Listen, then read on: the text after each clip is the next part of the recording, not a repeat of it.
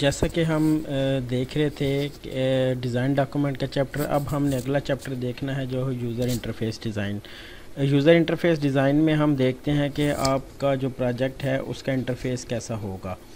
तो इसमें कुछ चीज़ें आती हैं, इसको हम देखते हैं। थ्री मेन पार्ट्स में ये डिवाइड होता है यूज़र इंटरफेस डिज़ाइन का चैप्टर तो इसमें सबसे पहले आता है साइट मैप साइट मैप आपका एक ऑर्गेनाइजेशनल चार्ट की तरह की एक डायग्राम होती है, जिसमें आप एक ओवरव्यू देते हो कि सबसे पहले कौन सा पेज ओपन होगा और अगर वो पेज ओपन होगा तो उसके बाद कौन सा पेज ओपन होगा। ये सारा आप एक व्यू उसको बताते हैं, जिसका, जिस तरह हम इसकी एग्जांपल ये नीचे देखेंगे। जिस तरह इसकी डेफिनेशन भी आप देख सकते हैं कि site map main benefit is to give users and overview of the site areas uh, in a single glance by dedicating an entire page to a visualization of the information architecture. इसमें आपने देखना है कि जो information आप provide करेंगे उसका architecture क्या होगा। Uh, उसके बाद स्टोरी बोर्ड्स हैं। स्टोरी uh, बोर्ड्स में आपने uh, बताना है कि आपकी वेबसाइट का इंटरफेस दिखेगा कैसे। ठीक है आपकी वेबसाइट के अंदर कितने पेजेस होंगे और वो किस तरह वर्क करेंगे ये सारा आपने वो uh, उसमें लगाना होता है।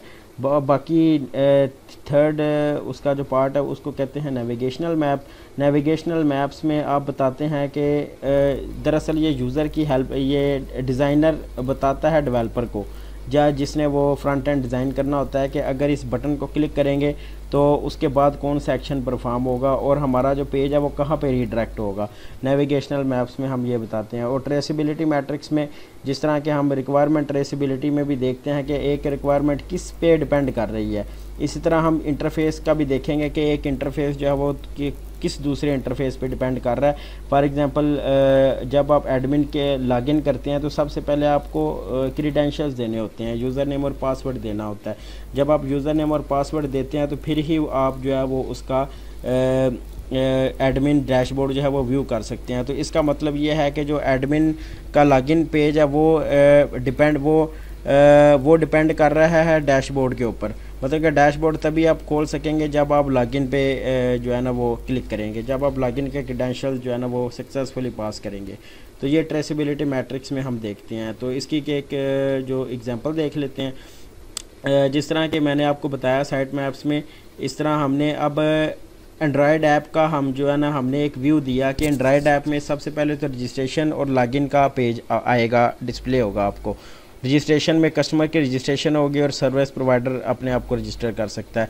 जब आप लॉगिन करेंगे आप रजिस्टर हो गए हैं एज अ कस्टमर आप लॉगिन करेंगे तो आप अपॉइंटमेंट कर सकते हैं, फिर आप पेमेंट कर सकते हैं, फिर आप प्रोफेशनल की लोकेशन को देख सकते हैं यूज़र मैनुअल देख सकते हैं कि आपको इस्तेमाल किस तरह करना है, और फिर आप अपनी प्रॉब्लम शेयर कर सकते हैं और उसका सलूशन जो है वो हासिल कर सकते हैं। इसी तरह ही आपने बाकी यूज़र्स का भी साइट मैप बना देना। फॉर एग्ज़ाम्पल वो एंड्रॉयड ऐप का साइट मैप था तो नीचे आपने एडमिनिस्ट्रेशन का साइट मैप आपने देख लेना है कि एडमिन कौन कौन सी एक्टिविटीज़ जो है वो परफॉर्म कर रहा है। इसी तरह स्टोरी बोर्ड्स की तरफ़ हम आते हैं। स्टोरी बोर्ड्स की सबसे पहले हम डेफिनेशन को जान लेते हैं। Story board is a sequence of single images एक इमेजेस का सीक्वेंस है जो आप बताता है कि आपका जो यूज़र इंटरफेस है वो कैसा दिखेगा और उसमें क्या क्या क्या चीज़ें होंगी।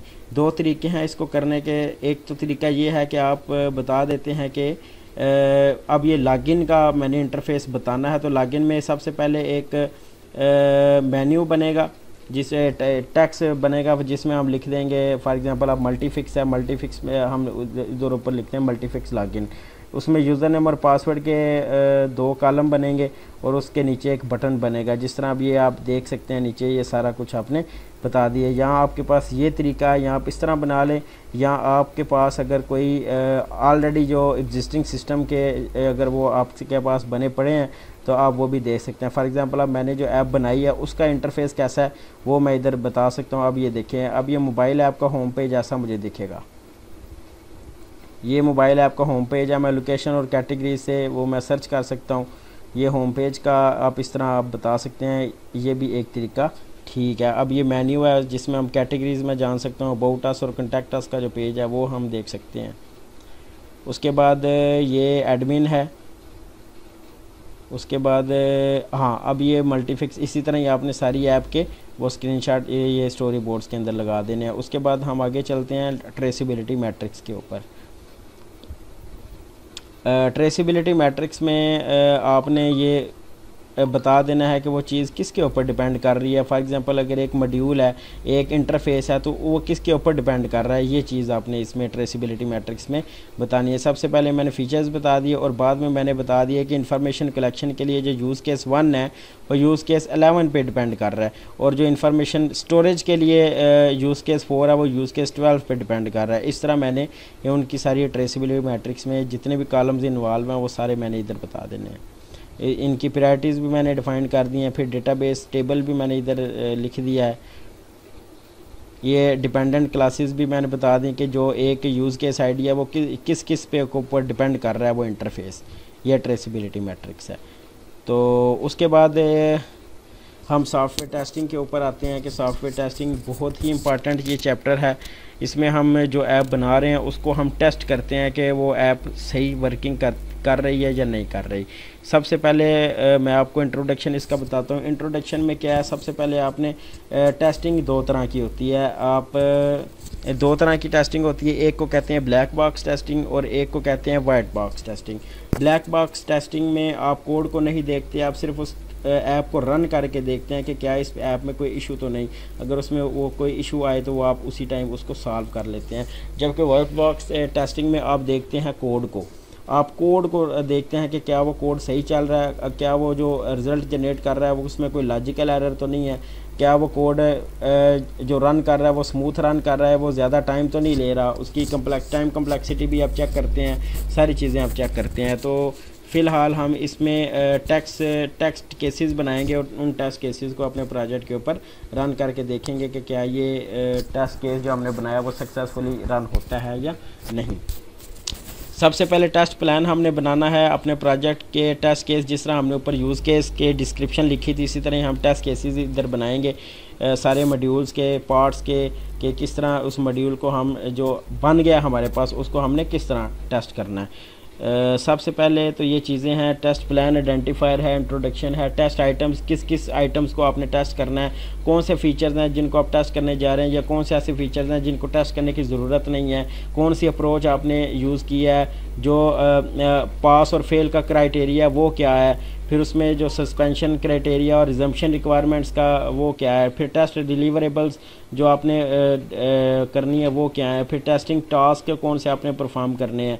ये सारी चीज़ें आपने फिर उसके रिस्क फिर उसका शेड्यूल फिर उसकी रिस्पॉन्सिबिलिटीज़ फिर उसका अप्रूवल ये सारी चीज़ें आपने टेस्ट इस इस चैप्टर में लिखनी होती हैं। फॉर एग्ज़ाम्पल जिस तरह हम ये टेस्ट प्लान आइडेंटिफायर है फिर इसके टेस्ट आइटम्स हमने देखने हैं। फॉर एग्जांपल अब मैंने जितने भी मॉड्यूल हैं, वो सारे टेस्ट ज़ाहिर सी बात है वो करने हैं। सबसे पहले मैं लॉगिन को चेक करूँगा अनरजिस्टर्ड यूज़र के लिए कि फॉर एग्जांपल एक यूज़र जो अनरजिस्टर्ड अभी तक सिस्टम में रजिस्टर नहीं हुआ, वो अपने आप को अगर रजिस्टर करना चाहे तो वो क्या स्टेप्स फॉलो करेगा। अगर वो इन्फॉर्मेशन ये ना हो कि वो इन्फॉर्मेशन गलत पुट कर रहा है और फिर भी वो रजिस्टर हो रहा है तो ये एक जो है ना वो इसको फेल समझा जाएगा। अगर वो वैलिडेशन उसके ऊपर प्रॉपर हुई है तो फिर वो हमारा पास समझा जाएगा।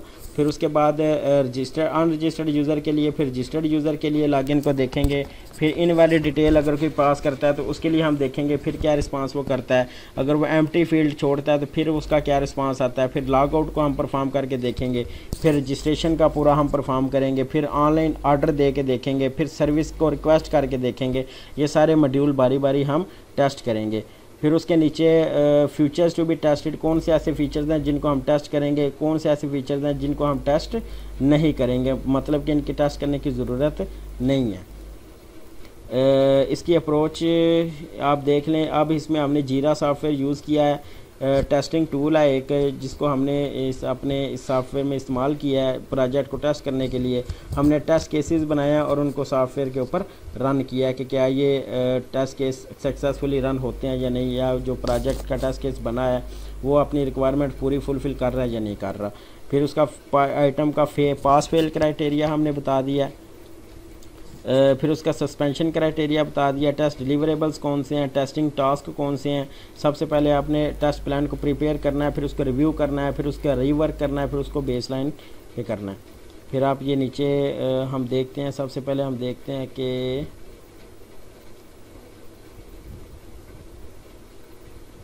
जी, ये हमारे पास टेस्ट केस आ गया। इस टेस्ट केस को आपने बड़े अच्छे तरीके से मैं आपको ये समझाता हूँ। सबसे पहले लॉगिन है रजिस्टर्ड यूज़र के लिए। फॉर एग्ज़ाम्पल अगर कोई यूज़र ऑलरेडी रजिस्टर है तो वो, उसको हम किस तरह टेस्ट करेंगे, वो किस तरह लॉगिन होगा। सबसे पहले आपने एक आईडी रखनी है उस यूज़ केस की। उस टेस्ट ये इसको टेस्ट केस आप बोलेंगे। टेस्ट केस की सबसे पहले आपने एक आईडी बनानी है, फिर उस टेस्ट केस का नाम रखना है, फिर उस टेस्ट केस की डिस्क्रिप्शन आपने बतानी है कि इस टेस्ट केस को, कि ये टेस्ट केस किस लिए हम बनाए हैं। अब ये टेस्ट केस हमने बनाया user should be able to log in to the system after authentication for example उसने अथेंटिकेशन प्रोवाइड कर दिया है अब वो यूज़र लॉग इन होना चाह रहा है हमारे सिस्टम में। प्री कंडीशंस में आप ये देखना है कि कौन सी ऐसी रिक्वायरमेंट जो फुलफ़िल होनी चाहिए, तभी हम इससे, इसको लॉगिन कर सकते हैं। तो जो कंडी जो प्री कंडीशन है, जो उसको फुलफ़िल करना ज़रूरी है, जो इस पर डिपेंड कर रहा है, वो ये है कि ज़ाहिर सी बात है वो सिस्टम में रजिस्टर्ड होना चाहिए। फिर उसके आपने स्टेप्स बताने हैं कि कौन से स्टेप्स फॉलो करने हैं हमने। सबसे पहले हम वैलिड यूज़र नेम एंटर करेंगे और उसके बाद वैलिड पासवर्ड एंटर करेंगे। उसके बाद लॉगिन के बटन पे क्लिक कर देंगे। तो फिर पोस्ट कंडीशन में हमारे पास जो रिज़ल्ट आएगा, वो क्या है? Home page is display to the user मतलब कि जैसी वो वैलिड वैलिडेशन परफॉर्म करने के बाद जैसी वो होम पेज पे हमें रीडायरेक्ट कर दे, अगर हमने यूज़र नेम और पासवर्ड जो है वो करेक्ट एंटर किया है। तो उसके बाद एक्सपेक्टेड रिजल्ट्स क्या हैं? वो ये एक्सपेक्टेड रिजल्ट्स का मतलब ये है कि वो रिज़ल्ट जो करेक्ट हम एक्सपेक्ट कर रहे हैं सिस्टम के, कि वो रिज़ल्ट जो बिल्कुल ट्रू होगा। फॉर एग्ज़ाम्पल अगर हमने यूज़र नेम गलत एंटर किया और वो सिस्टम फिर भी हमें होम पेज पे रीडायरेक्ट कर रहा है तो इसका मतलब है कि सिस्टम में कोई खराबी है। तो एक्चुअल रिजल्ट्स है जो फॉर एग्जांपल आपने वो एक्टिविटी परफॉर्म किया है या टेस्ट केस परफॉर्म किया है तो आपका एक्चुअल रिज़ल्ट क्या है? अगर तो वो आपका गलत पासवर्ड भी एक्सेप्ट करता है तो वो एक्चुअल रिज़ल्ट आपने इधर लिखना है कि वो हमारा जो सिस्टम है, उसमें एक इशू है। हम इस ये रिज़ल्ट एक्सपेक्ट कर रहे थे, मगर रिज़ल्ट एक्चुअल ये आया है। फिर टेस्ट केस का स्टेटस आपने बता देना। अगर तो वो एक्सपेक्टेड रिज़ल्ट और एक्चुअल रिज़ल्ट दोनों सेम आ रहे हैं तो समझ लें कि आपका ये जो टेस्ट केस है, ये टेस्ट केस है, ये पास है। इसी तरह ये आपने सारे मॉड्यूल्स के इस तरह ये टेस्ट केस बना लेने हैं। ये सारे मैंने ये बनाए हुए हैं। ये डॉक्यूमेंटेशन आपको मैं ये नीचे लिंक दे दूँगा, उसमें आप जो है वो उसको डाउनलोड करके देख लें। फिर एंड पे आपने ये सारा करने के बाद इसकी एक रिपोर्ट बना देनी है। कि कौन कौन से जो टेस्ट केसेस हैं उनको हमने ये फंक्शनल और नॉन फंक्शनल का मतलब ये है कि कौन से टेस्ट केसेस हैं जो फंक्शनल रिक्वायरमेंट्स के थे। मतलब कि फंक्शनल रिक्वायरमेंट्स के जो टेस्ट केसेस हैं वो मस्ट आपने टेस्ट करने होते हैं। जो नॉन फंक्शनल रिक्वायरमेंट्स हैं उनको आप ना भी टेस्ट करें तो वो कोई इस तरह इशू हास नहीं होता क्योंकि वो जो रिक्वायरमेंट है वो नॉन फंक्शनल होती हैं। तो इसी तरह ही आपने ये आ, फिर आपने समरी रिपोर्ट इधर लिखनी है कि जो तमाम के तमाम मॉड्यूल्स हैं वो हमारे सक्सेसफुली रन कर रहे हैं। तो ये हमारा डॉक्यूमेंटेशन थी तो ये पाँच चैप्टर आप बना के अपनी फाइनल ईयर प्रोजेक्ट की डॉक्यूमेंटेशन जो है वो ईज़िली क्रिएट कर सकते हैं, बना सकते हैं।